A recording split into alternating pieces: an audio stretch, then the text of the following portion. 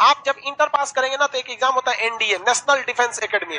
National defence academy NDA. National defence academy का exam UPSC conduct कराती है UPSC और जब इसको कंडक्ट करके आप पास हो जाते हैं 900 नंबर का होता है। हम लोग के समय में 900 नंबर का तो अभी कितना का? अभी भी 900 का होता है। हम लोग जब देते अब हम लोग का समय आज का है। उस समय 900 नंबर का होता था दो पेपर होता था। अभी का हाँ, अभी भी होता है।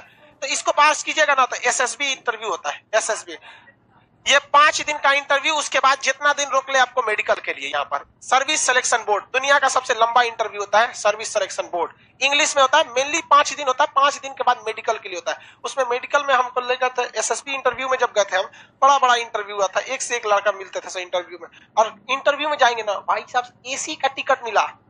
ट्रेन से गए थे ना एसी का टिकट तो कहा, टिकट लाइए, टिकट। टिकट जमा कर लेते हैं सर। जितने का टिकट है ना, उसका डबल पैसा देते थे मतलब आने जाने का हो गया आपका। सोचो, पहला एग्ज़ाम जिसमें एसी में आने और जाने का। और ट्रेन जब स्टेशन पे उतरे ना तो एक ऑफ़िस था, movement control office MCO office, movement control office. और एडमिट कार्ड पे लिखा था कि आप इलाहाबाद स्टेशन पे उतरिएगा और मूवमेंट कंट्रोल ऑफ़िस पर रिपोर्ट कीजिएगा। मूवमेंट कंट्रोल ऑफ़िस पे गए तो वहाँ सब लोग इंतज़ार कर रहा था कि इंटरव्यू देने आया। गाड़ी लगी हुई थी। अरे, मिलिट्री वाला आया था गाड़ी ले जाने के लिए। और एकदम मस्त मिलिट्री की जो बस होती है, एक नंबर बस में बैठे लोग, उतरे लोग, सबसे पहले नाश्ता वास्ता, एकदम वीआईपी नाश्ता। अरे, नाश्ता तो पहली बार हम सीबीएसई वाला नाश्ता किए थे। अरे तू पूरा बतिया नहीं सुना, हंसने लगा।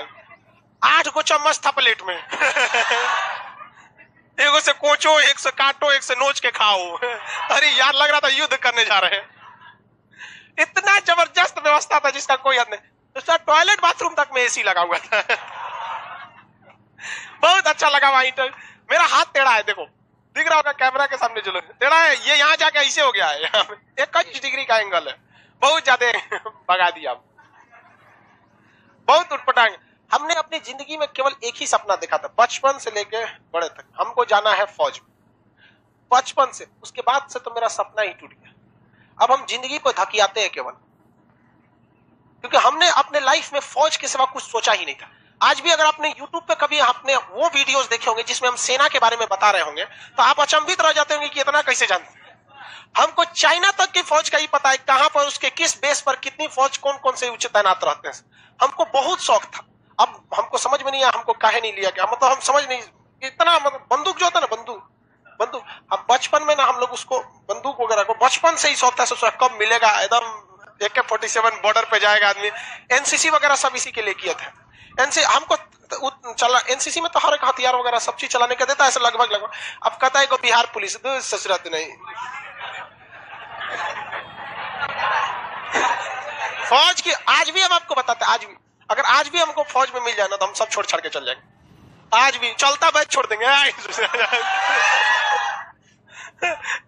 एकदम बहुत ज़बरदस्त था। सबकी अपनी अपनी पसंद होती है। तो आप जब एनडीए पास करेंगे ना तो आपको क्या जाना पड़ेगा? सर्विस सिलेक्शन बोर्ड इंटरव्यू में। इस इंटरव्यू को पास कर लेना पड़ा। मेडिकल मेडिकल में एक से एक ससुरा नाक, कान, आँख सब चेक कर लेता है सर। लगता है जिसे चाँद पे भेजेगा सर उस तरह और उसके बाद आपको भेजा जाएगा पूना में, जगह है खड़गवासला। और वहाँ जब ट्रेनिंग करेंगे, तीन साल ट्रेनिंग करेंगे, तीन साल ट्रेनिंग करने के बाद आपको तीन कैटेगरी में बांटा जाएगा, टेकी सुपर टेकी नॉन मतलब वहाँ ग्रेजुएशन कराया जाएगा आपको।